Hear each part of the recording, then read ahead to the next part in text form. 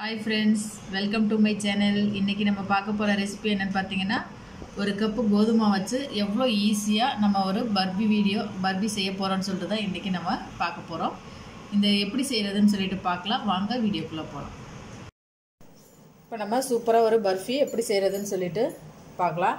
நான் ஒரு கப்பு கோதுமாவை எடுத்துருக்கிறேன். இது இருநூற்றி ஐம்பது கிராம் அளவு. இதை எடுத்துருக்கேன் ஃபஸ்ட்டு நம்ம இதை ட்ரை ரோஸ்ட் பண்ணி எடுத்துக்கலாம்.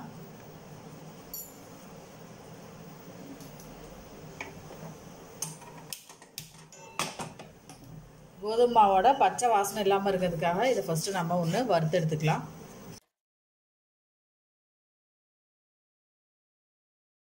கோதுமை மாவோட பச்சை வாசனையெல்லாம் போயிடுச்சு இனி இதை நம்ம வந்து ஸ்டவ் ஆஃப் பண்ணிட்டு இது ஒரு வேற ஒரு பாத்திரத்துக்கு நம்ம வந்து ட்ரான்ஸ்ஃபர் பண்ணிக்கலாம்.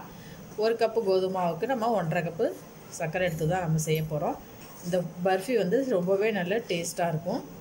இனி நம்ம ஸ்டவ்வை ஆஃப் பண்ணிவிட்டு இது ஒரு பாத்திரத்துக்கு மாற்றிக்கலாம் இப்போ நம்ம வந்து கோதுமை மாவை ஒரு பாத்திரத்துக்கு மாற்றியாச்சு இனி இதில் ஒரு கப்பு இதில் வந்து கோதுமை மாவு எடுத்தேன் இதில் வந்து முக்கால் கப் அளவு சீனி எடுத்திருக்கேன் சர்க்கரை எடுத்திருக்கிறேன். இதில் வந்து கொஞ்சமாக மெல்ட் ஆகிறதுக்கு கொஞ்சமாக நம்ம ஒரு கால் கப் அளவு தண்ணி ஊற்றிக்கலாம்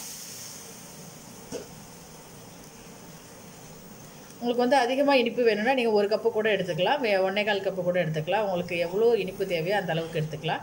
இது வந்து கரெக்டான அளவாக இருக்கும். இனி வந்து இது நல்லா மெல்ட் ஆகி வருது. இந்த டைமில் வந்து நம்ம மா எடுத்து வச்சுருக்கிற கோதுமை மாவை எடுத்துல போட்டுக்கலாம்.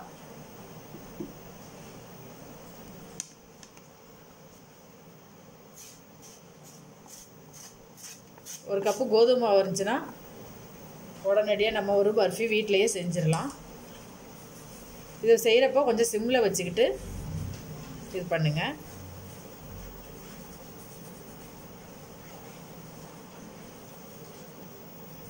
ஏன்னா உடனடியாக தண்ணி வற்றிடும் அதனால தான்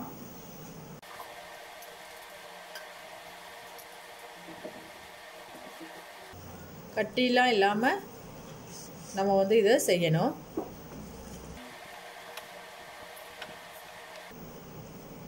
பாருங்கள் கட்டிகள்லாம் இல்லை.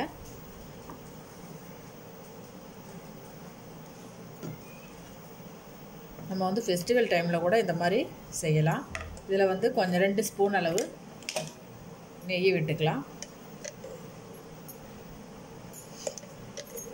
நீங்கள் வேணும்னா வந்து இதில் ஏலக்காய் தூள் சேர்த்துக்கலாம் இல்லைன்னா தேவையில்லை.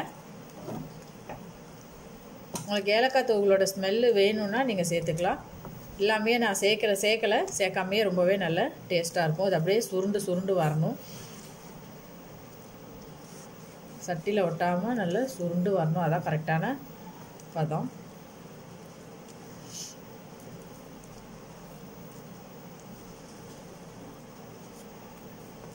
பாருங்க எவ்வளோ அழகாக வந்திருக்குன்னு.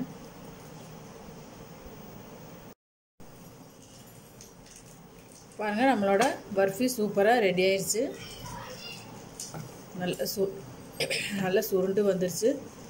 இனி நம்ம ஸ்டவ்வை ஆஃப் பண்ணிடலாம்.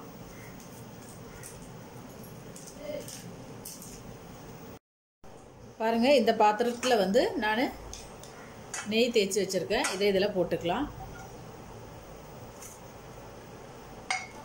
இது அப்படியே நம்ம எல்லா இடத்துக்கும் வர மாதிரி சமமாக சே செஞ்சுக்கலாம்.